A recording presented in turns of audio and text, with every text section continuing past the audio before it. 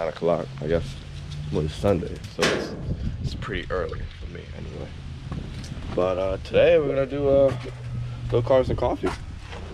So, I didn't want to wash my car yesterday because it did rain. We're just gonna wipe it down really quickly and head on our way. Ooh, a little bit of soap, just just enough, just enough, just about done. Cool. All right, quick little wipe down. Let's get going.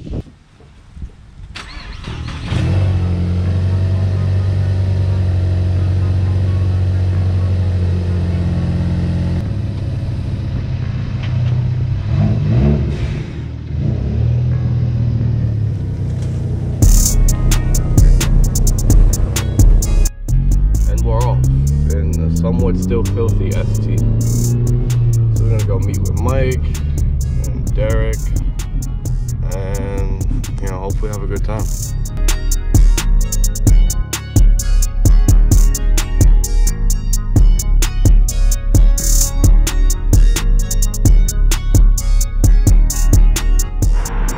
Alright, we out here with D on this very early Sunday morning.